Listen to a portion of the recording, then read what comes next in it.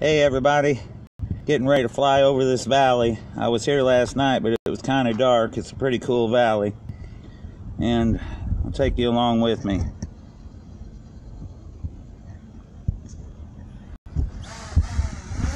Take off.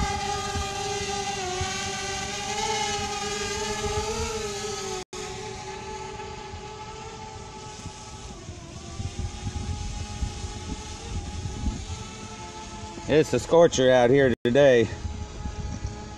It was real nice over the weekend until we got to today. The humidity was real low. Now it's back.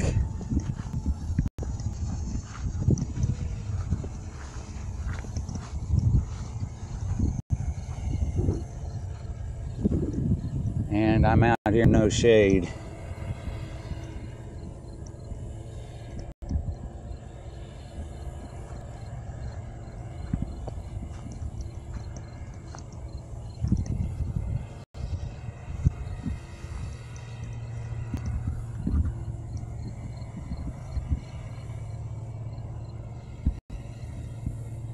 Flying Spark in. This is a wonderful little drone. If you ever think about getting a drone, make the DJI Spark your first one. It's really cheap with all the technology packed into it. It's the smallest and cheapest in the DJI line. It's only you can get one at Best Buy with the remote controller for $400. You can fly it with your phone but you can't get the transmission distance. You can't go near as far, so it's best to get a remote controller with it. And like I said, you can get one at Best Buy for $400. Worth every penny. You can just throw it in your backpack and give you an idea of the size of it. You can land it in your hand. But it is packed full of technology.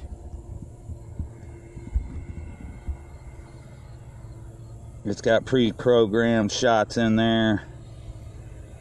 Really neat shots that you can already pre-programmed in there.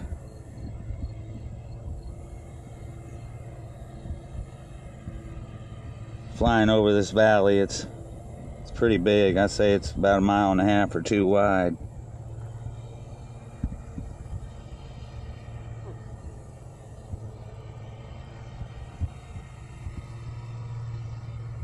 Real bright out here. It's hard for me to see my screen real good.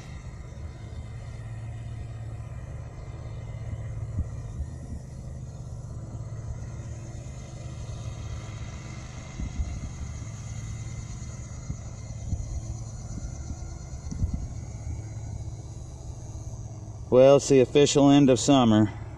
Kind of bums me out. Although I do like the month of September in North Carolina because the humidity is usually always low and there won't be a cloud and the sky will be blue every day and rarely rains. It's our driest month.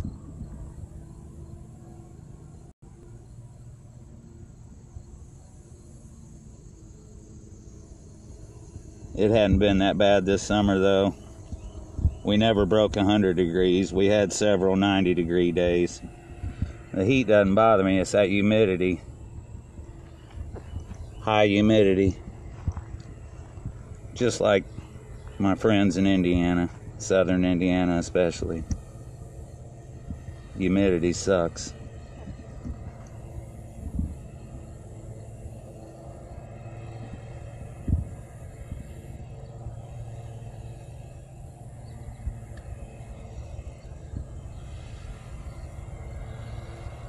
Move the camera down, see what's down below. There's several little fields. I can't really see them with my eyes. I see them through the camera.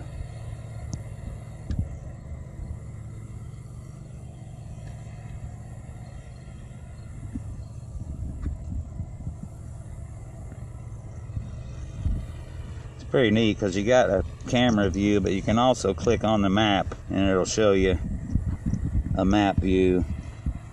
So it shows you which way you're going. You have a little compass here showing you how where the nose, which way you're pointed.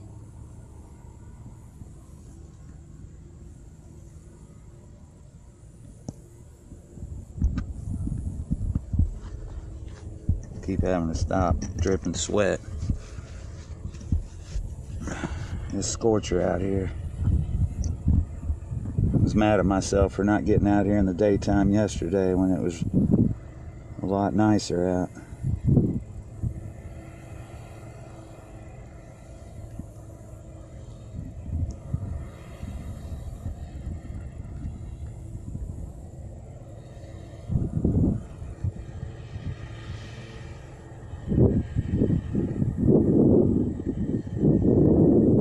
I have a bigger drone called a Mavic. It's top of the line. You can fly it out three miles. You could go further, but you wouldn't have enough battery power, is what limits you. I just like grabbing little spark because it's so tiny.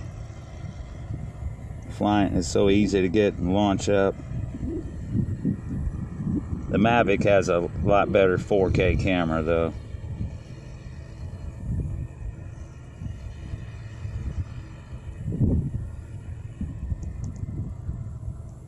And it can really fly fast if you want it to. The Mavic will go 40 miles an hour. I never do that though. Or you can go to the opposite end of the spectrum and click on like uh, you can put the, what they call tripod mode, where everything moves really slow. If you're trying to get that good cinematic footage, you know,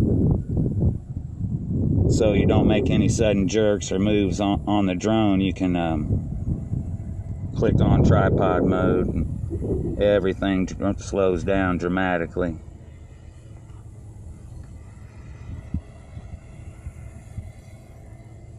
The camera is what they call is mounted on what they call a gimbal.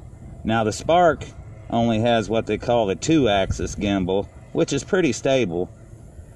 But the Mavic has what they call a three-axis gimbal, three different points balancing the camera. So no matter how windy it is, how hard you jerk the drone, that camera will just stay steady as a rock. Which the Spark does good with only its two axis gimbal. But like I said, it's a hell of a buy. $400. The Mavic's expensive. There's different lines. There's like the Mavic Pro Platinum, it's a $1,000. And then there's the Mavic 2 it's $1,500. There are a bunch of drones out. A bunch. 99% of them are made in China, though. There's one American company in California getting ready to try to start a drone this fall. They keep sending me emails. They won't show me a picture of it. It's like secret. Don't want to show a picture of it. Because they came out with a drone, a really weird looking drone. It looks like a flying notebook. And uh, it was $2,000. So I don't know what they were thinking. I mean, how many people can go spend $2,000 on a drone that doesn't even look like a drone either? It didn't even come with a controller everything was pre-programmed in it. It just flew itself. You did rarely did any flying to it. Uh, we just went to black and white. We went. Our signal's getting weak. Try going up higher.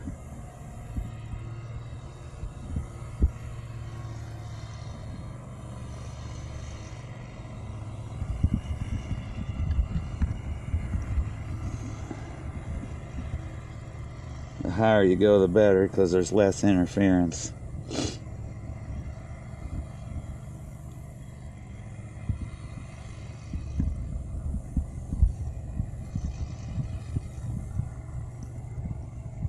Uh, we're out a mile, which is remarkable for this little drone. We'll have to turn around pretty soon because, of, like I said, that's the only drawback with the Spark. The battery is a small battery because the drone's so small. We're going to send it back home now. Battery level is low. The aircraft will go to the home point in 10 seconds. Go home.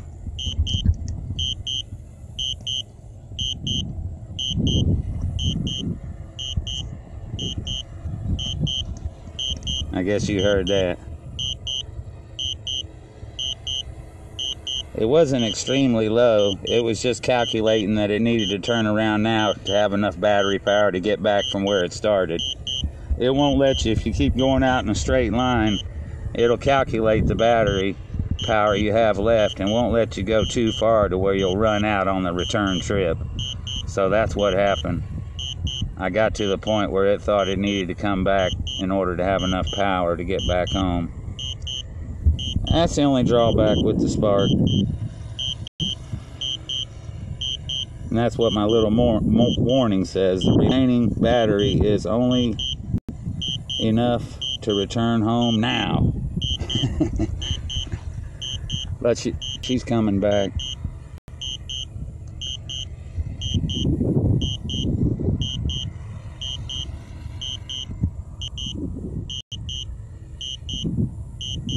Coming back fast, a lot faster than I went out. I was only flying about eight or nine miles an hour. It's coming back at 25 miles an hour.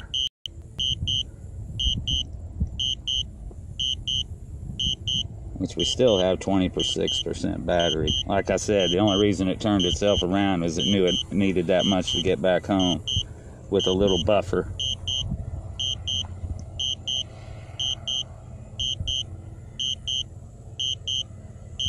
You can see it's coming. I'm standing behind a school. Low battery warning. Standing behind a school up on a hill overlooking this valley. Excuse me. Damn wind was blowing in it. Sorry about that. But anyway, thanks for coming along for the ride. This fall I'll come back and do one when the leaves change.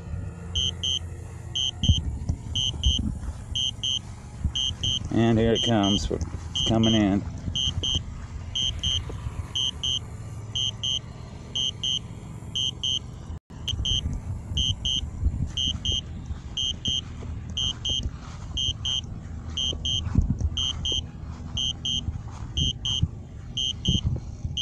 Landing.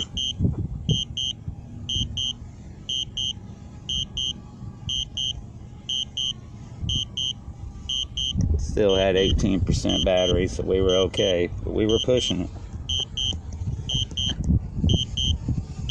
It's coming down now. It's way up there.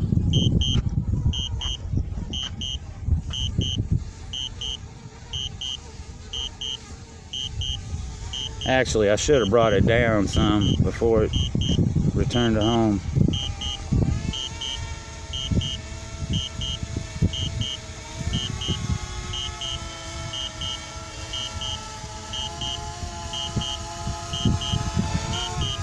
Thanks a lot, everybody. Hope you all had a good weekend and a good summer. This is the unofficial end.